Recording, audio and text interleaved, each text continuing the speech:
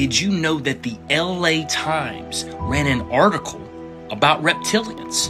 Yeah, you heard that right. I said it. Reptilians, lizard people, shapeshifters. I know you're probably sitting there right now flabbergasted that the mainstream media ran an actual article about lizard people.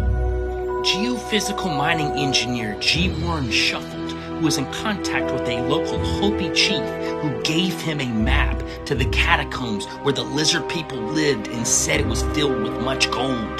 Shufelt was able to match up a tunneling system to the map that the Hopi chief gave him using a radio x ray system.